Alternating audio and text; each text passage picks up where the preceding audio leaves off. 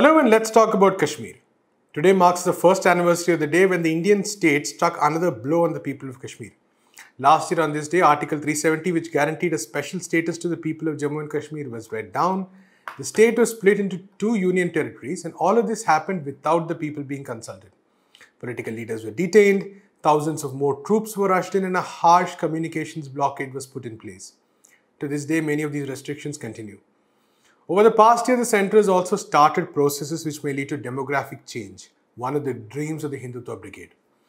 All this was done with the claim that it would bring Kashmir's people to the so called mainstream. The truth is that the people of Kashmir have been under siege more than ever over the past year. The anger, sense of betrayal, and pain is palpable in every interaction and every report.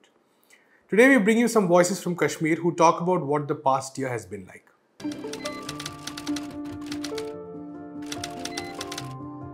A year has passed since the 70 year old law was removed in Kashmir and the region was bifurcated into two union territories. Article 370 was considered to be central to Kashmir, a formerly princely state's accession to Indian Union in 1947 when a vast majority of Muslims joined the newly created Pakistan. The removal of Article 370 has been a rallying cry of the Hindu right wing party BJP. So, when it came to power for the second time in India following the 2019 parliamentary elections, it laid its eyes on Kashmir, a prized territory in the Himalayas. To remove the law, which was referred to as the tunnel between New Delhi and Srinagar, the government had to do something about the opposition in Kashmir. It did so by converting the entire region of Jammu and Kashmir into an open air jail. All movement was restricted and communication lines were severed. On 5th August last year, without knowing what was about to happen, the people of Kashmir woke up in a severe clampdown. The government was about to make a big decision about the people of Kashmir, but none of them had any clue. As the decision was announced in New Delhi, a young 17 year old boy, Oseb Altaf, was being murdered on the streets of Kashmir to maintain peace and calm. مطلب چھِنہٕ ہٮ۪کان کٔرتھٕے کِہیٖنۍ حظ مےٚ چھِ وٕنکٮ۪نَس کٔشمیٖر دِل مان ژٕ أنٛدٕر کِنی چھُس مطلب حظ کیٛاہ وَنَے ژےٚ بہٕ کیٛاہ چھِ گژھان بہٕ چھُس دَپان وٕنکٮ۪نَس بہٕ ژَٹ یہِ کٔشیٖرِ پٮ۪ٹھ نہ سیٖنہٕ ژَٹہٕ بہٕ وٕنکٮ۪نَس بہٕ چھُس بہٕ کٲشِر پٮ۪ٹھ کھڑا ییٚمہِ عیال موٗجوٗب روٗزِتھ ییٚتٮ۪تھ مطلب بہٕ چھُس دَپان وٕچھ عیال موج چھِ بَچہِ چھِ یورٕ بٲقٕے عیال چھِ رِشتہٕ دٲری چھِ نَتہٕ چھِ ییٚتہِ اَکثر ظُلُم बच्चे योर अयाल रिश्तेदारी नत अक्सर जुलम Kashmir was under siege, a strict lockdown was imposed. The media was not able to cover Oseb's death. Authorities later claimed Oseb was a protester. Government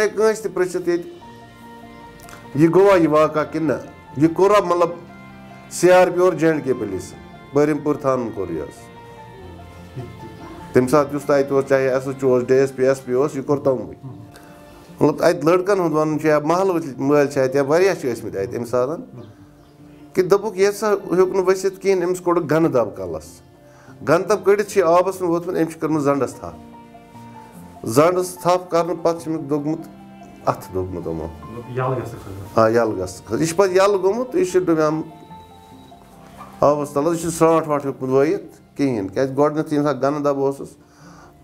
यह पे यल गोमुत यह डुब्याम आबस तल यह स्राट वाट हेकुत वत कहें क्या गोडनथ ये गन दब पे लोयहस पत् क्या हे सह कर सह लकुट मौसम क्या हे कर पत पे अति खोलमुत आब मज तो निमुत कोर हेडवोन हस्पताल तो तत दोपन डॉक्टर यह हसा अम दुनिया नकल कोर्मुत रसुल पाक वन दपा सा कयामत किस आए दोनक तमिस पृथ्व यमिस मतलब जवान औलाद गम दुनिया नकल कर ताबाल मो मतलब अ पे मान ग दोद कर कह ब्या गो पे बेरहमी सान कोर यह मतलब बचस सत गो गन द पत अगर सह आबस वोत चलो खलिन न पत दोगस लोरियो सह दोगुक लुटा दया रे हुस्न में वफा जदों का काफिला मज़ार है किधर किधर गिरा कहाँ कहाँ लहो गिरा है जिस भी खाक पे कयामतें उठाएगा ये सुर्ख सुर्ख गर्म गर्म ताज़ा नौजवान लहो गवाह खुद ज़माना है, किताब पाक है दलील।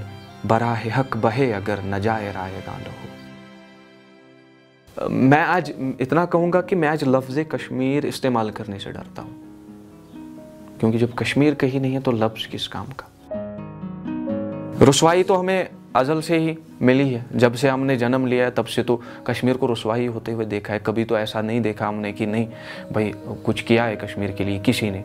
सारे लोग बस ऐसे ही। हमारा दिल बहलाने के लिए सारी चीज़ें बोलते हैं बाकी कुछ भी नहीं। Two days after the abrogation of Article 370, on 7th August 2019, Shahbaz wrote a poem, Kalam khune dil मैं डुबो कर लिखूँगा वो दम घुट के मरना हमारी वो आहें वो सारे जनाजे वो लाशों के अंबार। मैं मौजू बनाकर ये सब कुछ लिखूँगा मैं आवाज़ बनकर सबों की लिखूँगा। वो जानू का जिसने भी सौदा किया है मैं उन दुश्मनों को जगाने की खातिर मैं मुर्दा दिलों को उठाने की खातिर कलम खून दिल में डुबो कर लिखूँगा मैं सब कुछ लिखूँगा मैं सब कुछ लिखूँगा The poetry of young men in Kashmir is smeared in blood, violence, and war. A young poet from Pulwama, Shahbaz writes often on these lines. He feels compelled to write about pain, the loss, and death due to the ongoing situation in Kashmir. जिस चीज़ ने मुझे ये सब लिखने पे मजबूर किया वो था कि एक करीबी दोस्त था जिसने दम तोड़ दिया मेरे ऐसे यहाँ पे दम तोड़ दिया उसने एक एनकाउंटर में उसको गोली लगी थी तो फिर चंद घंटे वो जी पाया तो बस हाँ सिविलियन था वो छोटा था टेंथ क्लास में, पर तब पढ़ रहा था वो। तो वो था ज़िंदगी का एक एपिसोड जो मैं कभी नहीं भूल सकता। पर्सनल लेवल पे मैं इतना कहूँगा कि मैं पे वो कलमस हट चर दूँ एक किस्म। तो क्योंकि हालात ही वैसे हैं, देखें, सच बात बोलेगा, सच बात कोई बताएगा तो दूसरे दिन शायद वो ऐसा मैं कहूँगा कि सफ़ाई करदास पे उसका कहीं नाम नहीं होगा। सफ़ाई हस्ती पर से उसका नाम मिट गया होगा। तो अब इसमें कौन शामिल है, कौन नहीं है, मैं तो वो बात छेड़ना ही नहीं चाहूँगा। ना तो मैं एज ए शायर ये बात कहूँगा कि हमारे लिए अगर हम शायरी लिखते हैं, शायरी करते हैं तो हमारे लिए भी मुहाल है। बागों में फूल सारे खिलने से रह गए हैं, अरमान फ़सल गुल के मौजू में बह गए हैं। लाशें निकल रही हैं वो देख हर मकान से, अब तो लहू की बारिश होती है आसमां से। अहले नज़र ने लोगो जन्नत जिसे कहा है अहले नज़र ने लोगो जन्नत जिसे कहा है अफसोस वो हमारा कश्मीर जल रहा है अफसोस वो हमारा कश्मीर जल रहा है The August 2019 lockdown plunged the state into a sharp downward spiral. By the end of December 2019, the economy of the valley was in dire straits. The economic losses reported by traders and rights groups crossed over 40,000 crores or $5.4 billion. Get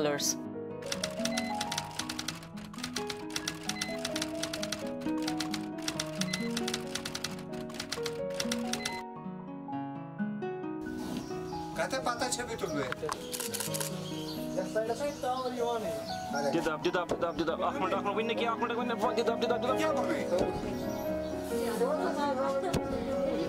کٔمِس أسۍ حظ ٲسۍ پانٛژھ اَگستہٕ برونٛٹھ پَنٕنۍ زندگی ٹھیٖک پٲٹھۍ گُزاران اَصٕل پٲٹھۍ پَنُن عیال ٲسۍ پَکان پَنٕنۍ گَرِکۍ بٲژ ٲسِکھ پَکناوان پَنُن سورُے وۄتھُن بِہُن لَسُن بَسُن سورُے کینٛہہ اوس اَسہِ منٛز اَسہِ نہ حظ ٲس نہٕ کانٛہہ تہِ دِقت یِوان أسۍ حظ ٲسۍ تٔکیہِ بَناوان یا بِستَر ٲسۍ ہٮ۪وان تہِ کٕنان تہِ بَلاے سٕنٛز توتہِ اوس بَنان مان ژٕ پَنُن कामे दवा पन रोज़गार मे पानस कोर जो तो नेचो अस मान सो मजबूर परेशान गान कह यह पाँच दफ़ा त्रे हथ सतथ तुल पाँच अगस्त पे वनान हसा तुल तो वनान तुल तो वथक ना तो तन आई सस गरस मन सखत गरीबी तन अहन वोल कह मान तकलीफ़ अचन हूँ मान मोत हथ कंस मगर यनस पाँच अगस्ट वोतान रूद मात सही मात क्या वन गर बिहत मान वन फाक ते हकान लगित अस मज वन कहें बिल्कुल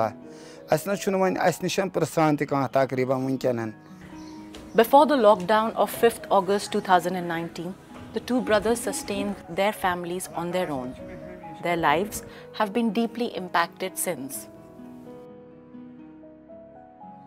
Pakan यानी यस वन हालात गई खराब पाँच अगस्त पेट गई यीसा हालात यीसा गई हालात वन अस नश ओस कह सह गो मकलान अ हिसाब वनकान चलान तो वह फजल खुदास पे पकान वस बिस्तरस मे वनकान लर त्रा बसान अत नार अस ना ना सोखे तो ना कहें वनकान अस बनावान या बिस्तर हेवान ते कनान ते बनावान क्या वो तोत पन मान तु पन मान सास वो पकान जी हथ चोरे हथ पन रोज़गार उस पकान पन बचे हेकान पालित अस नुन कहें तम पे आए तम तुम मुश्किल वन तुस हेकान क्या वन हेतन फाक त लागन अस पन बराबरी चलान ब्लैंड ٲسِتھ ٲسۍ کینٛہہ تہِ ییٚمہِ ساتہٕ نہٕ وۄنۍ یہِ کٲمٕے آسہِ روٗز اَمہِ چیٖزٕ ہیٚکہِ أسہِ محتٲجی گٔژھِتھ تُہۍ کٔرۍتو وۄنۍ پانَے انداز کوٗتاہ نۄقصان گوٚو ییٖتۍ گٔے حالات وۄنۍ ہیٚتِن وۄنۍ چھِ ہٮ۪کان اللہ تعالیٰ دِیِن نجات وۄنۍ چھِ ہٮ۪کان واریاہ مُشکلات گٔژھِتھ نہ آسنَس منٛز چھِ وۄنۍ بِہتھٕے ہٮ۪کان خودکٔشی ہِنٛدۍ حالات تہِ گٔژھِتھ کیٛازِ ییٚلہِ نہٕ وۄنۍ گَرَن منٛز کِہیٖنۍ تہِ اوس بَچَن منٛز ژوٚٹ أمِس وۄنۍ مول کِہیٖنۍ چھُنہٕ ییٖتۍ پٲٹھۍ حالات یا ہیٚکہِ بَچے کینٛہہ نَتہٕ کینٛہہ فیل کٔرِتھ یا ہیٚکہِ مولٕے پنٛنِس پانَس بَچہِ سٕنٛدِ بدلہٕ کینٛہہ فیل حالات گٔے یِم تہِ مان ژٕ وۄنۍ چھُنہٕ اُمید اگر مےٚ خۄدا سہل کَرِ what compounded the situation for people in Kashmir was another lockdown imposed right when fifth August lockdown was beginning to ease The outbreak of COVID-19 pandemic further pushed the people in the region towards the wall. In our next segment, we bring you a conversation with Professor Radha Kumar, who was an interlocutor for the government in Kashmir. She talks about the impact of the past year, especially in areas such as education and healthcare. First, I think, uh, finding was how a whole series of human rights, uh, from habeas corpus to the right to bail, to the right to a speedy trial, to uh, protections against uh, arbitrary arrest, uh, to the rights of children not to be arrested, uh, all of these were violated uh, uh, from August 4th onwards. Um, what we did find, uh, and there was very little recourse. Uh, uh, in the sense that the courts took a very, very long time on any of these petitions on habeas corpus or bail. Uh, and in that sense, one might say that uh, really you can say that those rights were denied even by the courts, uh, which is a sad situation. Um, we also found that uh, you have people in India perhaps don't realize that what we're talking about is in effect one year of lockdown in, in uh, what used to be a state uh, of the country. Uh, and obviously, if you have one year uh, of a lockdown, you are going to have terrible impacts on the economy, on health, and on education. Um, looking at industry, estimates that have come out of the valley, for example, from the Kashmir Chamber of Commerce and Industry, indicate that there could be a loss of as much as 40,000 crore across all sectors of the industry. Uh, obviously, the most severely affected were also those that contributed a very large uh, proportion of the GDP uh, of the state the fruit industry, the tourism industry, services. Uh, all of these were severely impacted. Smaller uh, industries like handicrafts or information technology, many, many companies, especially startups, were forced to go out of business. Um, in the March budget, we did not see any allocations for compensations for these losses. Uh, and these losses were not due to natural disasters, but due to man made uh, disaster. Um, on health, uh, we saw interestingly that, uh, that, that the impact on health could be divided into two phases. The first phase being the first, say, two to three months uh, from August 4th to, let's say, October, uh, when, uh, you know, communications were snapped, when Section 144 was imposed, when no one could uh, go to the hospital, and when you could not speak to your doctor on the telephone. clinics were closed pharmacies could not uh, deliver medicines. Uh, vital medicines did not arrive at pharmacies. Uh, already, news reports have indicated that several people died in that period just for lack of access to healthcare. And that's really uh, very shocking. Um, the COVID uh, lockdown, by contrast, was uh, allowed some movement.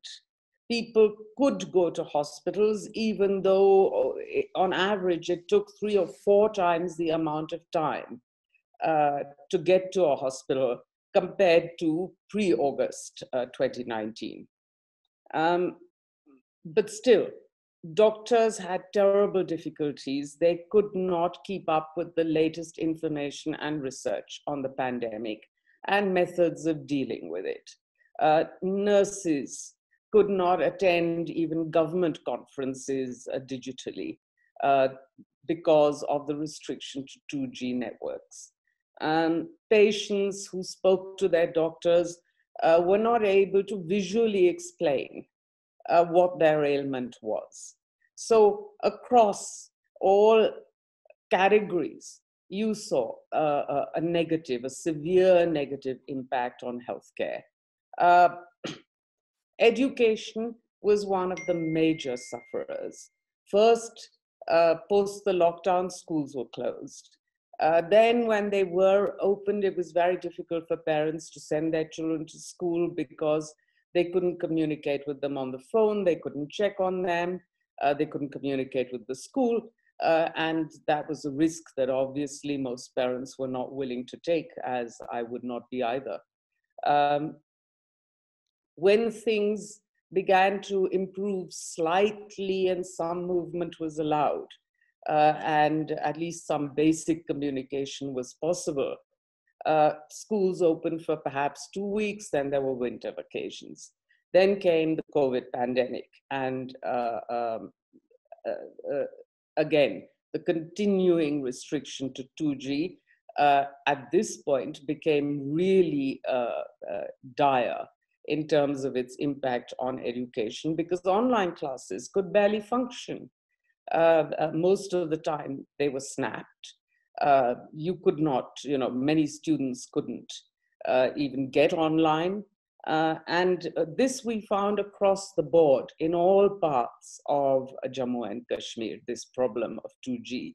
And teachers, as well as students, were traumatized uh, by the inability, uh, for the students, the inability to learn uh, or to even see, you know, familiar, friendly faces.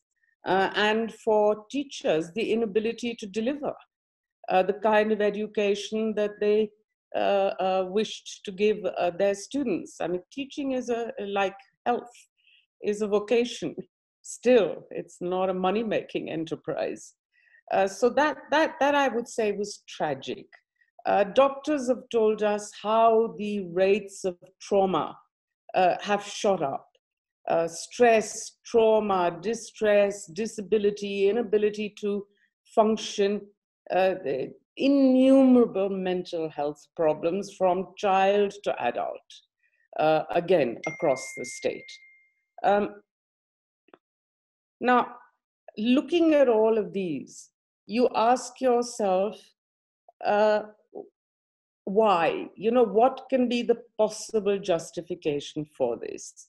We hear uh, the Jammu and Kashmir administration, as well as the Union Home Ministry, saying that all of these steps were necessary in the name of security.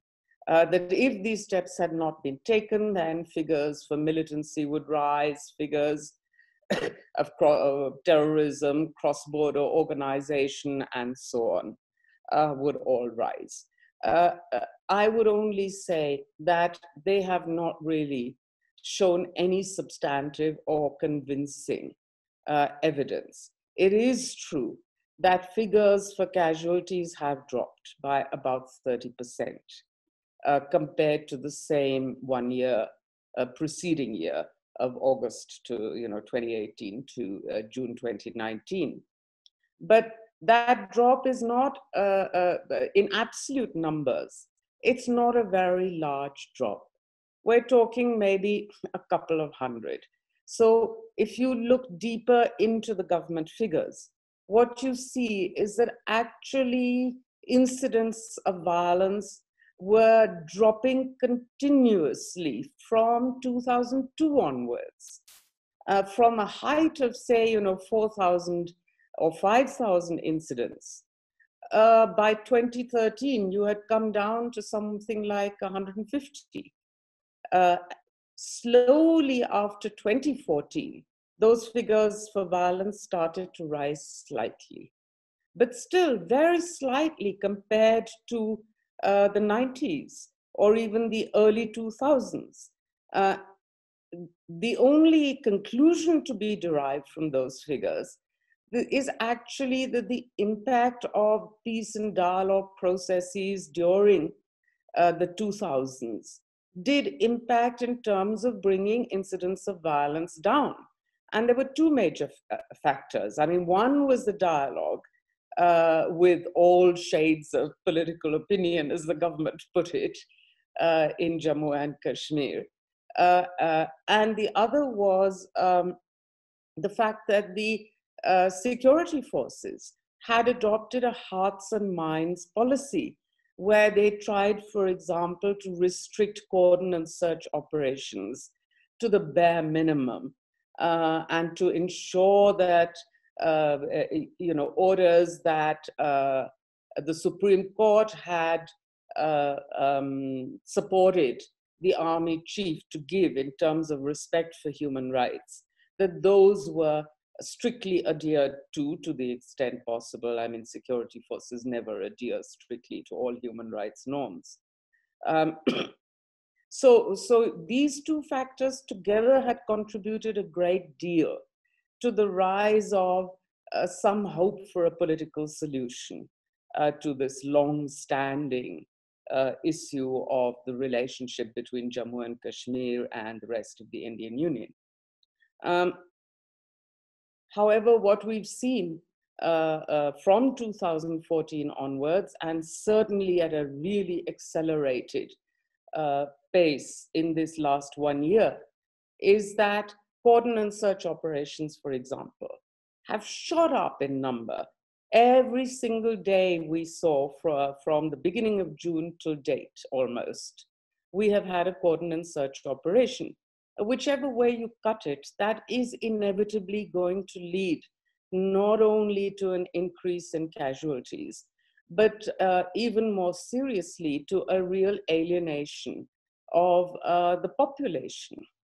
Uh, again, I would say any one of us can imagine what it would be like to have suddenly, uh, you know, a, a number of armed soldiers come surround our locality start searching all the houses. In some cases, where there is strong evidence to show that militants may be hiding, laying IEDs.